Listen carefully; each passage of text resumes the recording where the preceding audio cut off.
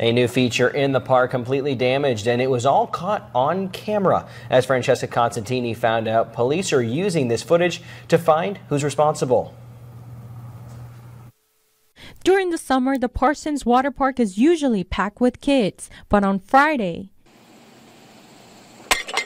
it was closed. The reason? Its new bucket dump damaged. The feature cost the city $8,500, but now it's going to end up costing us several hundred dollars just to fix it to put it back in operation. Now, this surveillance camera that's actually right behind me is facing right where it all happened. appears that several children, or maybe an adult and a child, was jerking on the feature and broke it loose. I was not a happy camper. Uh, you know, just really, really upset about all this. Parsons Park and Recreation posting these pictures on their Facebook page the moments crews arrived to the park Friday morning. The pictures showing the damage and the removal of the bucket dump.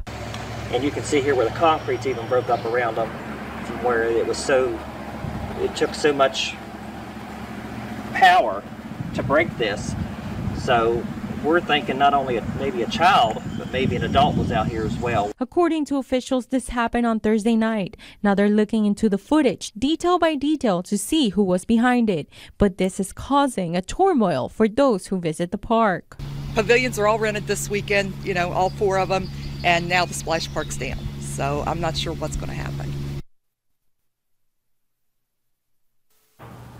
Officials installed a new HD security camera. They tell us that the old security system will automatically delete the footage after some time. The repair should take about a week. Any tips on who did this should be reported to the Parsons Police Department. For 5 News, I'm Francesca Constantini, keeping you connected.